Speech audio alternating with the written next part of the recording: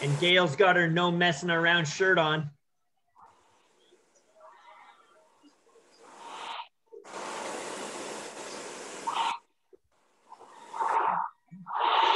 Here we go. Nice work, Gail. Nice work.